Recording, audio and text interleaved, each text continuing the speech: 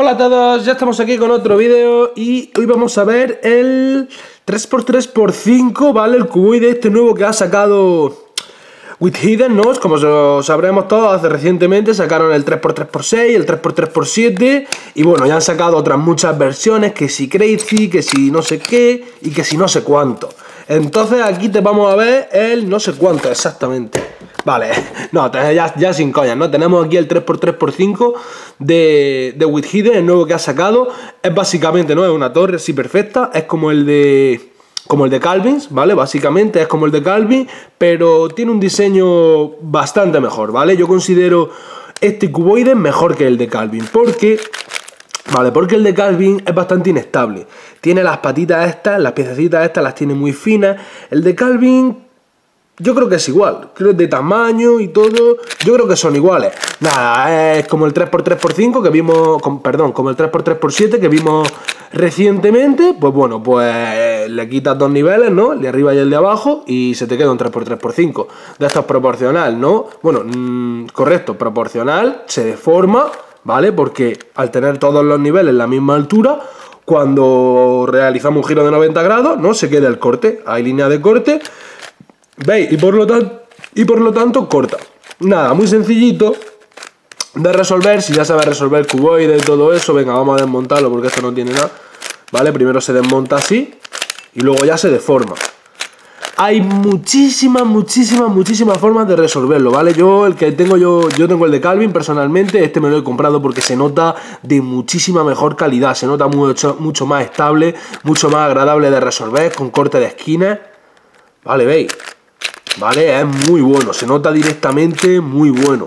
Y sobre todo eso, muy estable, ¿vale? Este, claro, este no sé si llevará lo de los tres, lo de triple muelle en el interior, porque el 3x3x7 es tan estable, porque aquí lleva un muelle, ¿no? Que une toda, que le da, le, da resistencia a la estructura esta, ¿no? De lo que es tan solo una fina larga, de, ¿veis?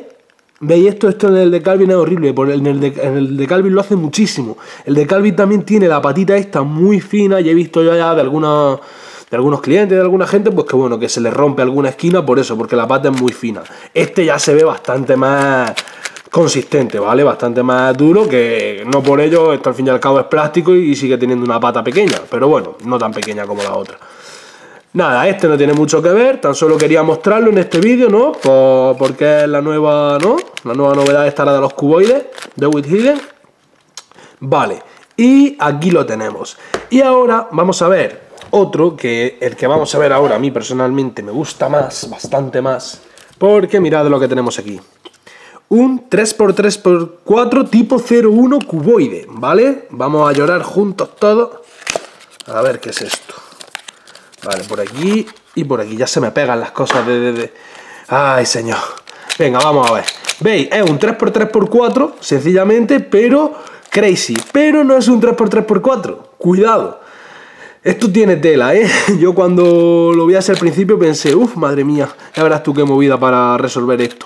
Vale, si nos fijamos, el círculo de dentro es estático, no se mueve. Por el otro lado, se mueve, ¿vale? Tenemos lo contrario. Aquí creo que es... Esto no sé, es tipo 1, es que no lo recuerdo bien. A ver, aquí lo pone. 3, 3, no, esta no es su caja. Vale, vamos a ver su caja, que nos enteremos nosotros bien. Vale, tipo 01, cuboide 01. Por lo tanto, esta cara es tipo 0, ¿vale? Que no se mueve. es fija, ¿no? Con respecto, con respecto al centro. Y esta es tipo 1, que se mueve la cara, ¿vale? Se mueve con el cubo. Vale, un 3x3x4, crazy, la verdad es que sería un cuboide muy guapo, pero esto, esto en realidad no es un 3x3x4, es un 3x3x5, que le quita un nivel, lo haces crazy y pasa esto, ¿no? Vale, vamos a ver. Claro, aquí ahora no podemos girar porque este círculo es fijo, pero este círculo sí que se movía, madre mía. ¿Veis? Ahí la barra blanca, joder, esto, uff. ¿Veis? ¿Qué, qué, barbaridad. Vale, pero en realidad no es un 3x3x4, porque un 3x3x4 giraría sobre el centro de la cara. Y, claro, aquí no se deforma. Va a ver. Claro, claro, esto es que es esto va a ser complicado, porque tenemos muchas restricciones. Al ser, a ver. Vale, uff, qué lío. Qué guapo. A ver, por aquí. Vale, mirad. Qué guapo, ¿no? Mirad la estructura, ¿no? Yo quería ver y esto. ¿Veis la estructura interna? Cómo bajan las piezas por aquí, por dentro. Y encima de todo, claro, como esta cara... Como esta cara sí que se mueve, ¿no? El círculo no es... No es fija, a ver, que yo me aclare. Vale, veis, este centro es el que se mueve. Aquí lo que manda en realidad es el centro. Entonces, mientras aquí tengamos el centro amarillo, esto se moverá. El centro blanco es fijo, no se mueve, entonces no podemos mover esto. ¿Veis? Aquí está bloqueado. Podría mover esto. Madre mía, yo no sé si desmontar esto, chavales, así de primera. Me gustaría probar unos algoritmos y probar unas cosas antes de nada, porque bueno, esto, a ver. A ver, aquí. Claro, aquí está el centro blanco, este no se mueve, aquí está el centro amarillo. ¿Veis? Ahora está muy, muy guapo este cubo, ¿no? Vale, vamos por aquí, por aquí. Claro, y veis al mover por aquí cómo se mueve también la parte de abajo, porque este sí que es fijo. ¿Vale? Esto sería el patrón alternado. Nada, ya veis la impresión que da así de primera. Este está bloqueado, centro blanco bloqueado, centro amarillo se mueve. Entonces siempre que tengamos centro amarillo podremos mover en el blanco, ¿veis? Giramos y se queda eso porque va unido a esto. Uf, qué movida, estoy, me estoy liando. Y, nada, veis, centro amarillo, o sea que esto se tiene que mover, a ver. ¿Veis? Esta barra se... Vamos, Uf, me estoy poniendo nervioso, pero porque es que está muy guapo este cubo, ¿no? Y, no sé si yo si sabré resolverlo de primera. Ahora mismo tengo bastante trabajo, ¿no? En cuestión de, resolver cubos, porque bueno, como, como, vi, como vimos hace un par de vídeos, ¿no? Me regalaron el Void Tuning este todo grande. Madre mía, llevo la mitad, ¿eh? Llevo 15 caras, creo. Creo que me queda poner uno o dos piezas para hacer 16 caras, que sería exactamente la mitad, ¿no? De la bola esta gigante. Eso es tela, ¿eh? Eso es tela. Sé que otro cubo y tal, pero bueno, ahora mismo es que es el que más encaprichado me tiene. Me lo regalaron hace poco y no lo he resuelto. Y bueno, y ese me lleva mucho trabajo. Entonces, no sé yo si desmontar este de primeras, porque esto para resolverlo luego, venga, vamos a ver que yo piense. Que a veces yo pienso. A ver, bueno, sí, sería conseguir devolverlo al estado de cuboide, porque este en realidad... A ver, que no la lío yo parda, vale, por aquí, por aquí. Porque este en realidad, si, si nos pusiésemos a deformarlo como un cuboide, ¿veis? Vaya tela. Al fin y al cabo no tengo ni idea aquí de... Se puede mezclar, mi pregunta es, lo que yo estoy pensando aquí y lo que estoy, estoy intentando ver, ¿puedo, ¿puedo mezclar el círculo amarillo con el círculo blanco? Porque no me llega.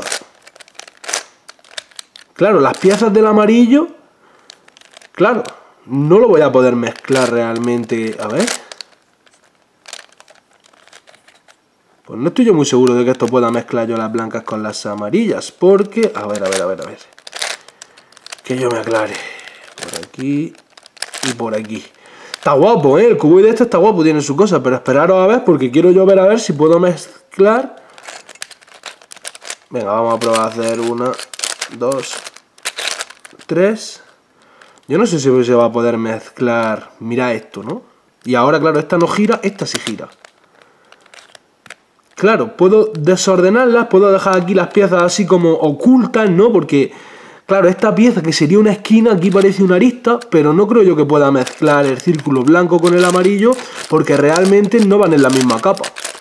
Realmente para yo poder mezclar, aquí a ver, claro, para yo poder mezclar el círculo blanco, el círculo blanco se mezcla con las piezas de esta capa. O sea, estas dos capas se mezclan entre sí. Y estas dos capas se mezclan entre sí. Entonces, claro, esta y esta no creo que se puedan mezclar entre sí, porque me faltaría un nivel.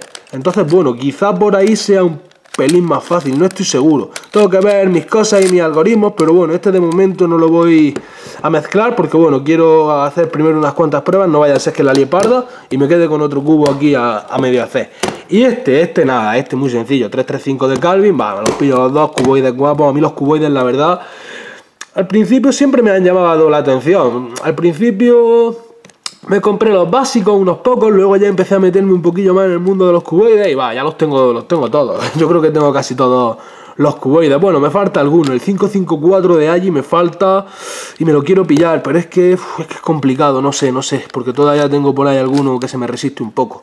Pero bueno, poco a poco. Así que nada, yo creo que con estos dos, con este vídeo ya tenemos visto las nuevas versiones de cuboides de Hidden, sin duda, mm, la más alucinante de momento esta y la versión 337, ¿no? Súper alta, pero nada, pero esta Crazy y falso 334, muy, muy guapo, ¿eh? Muy guapo. Y este 335, nada, de mucha calidad, ya existían en el mercado, ¿no? En otra marca y en otras versiones. Pero nada, otra nueva versión que está muy bien, ¿no? Y creo que, que merece bastante la pena. Así que nada, con esto ya tenemos visto el vídeo. Espero que os haya gustado y nos vemos en otro.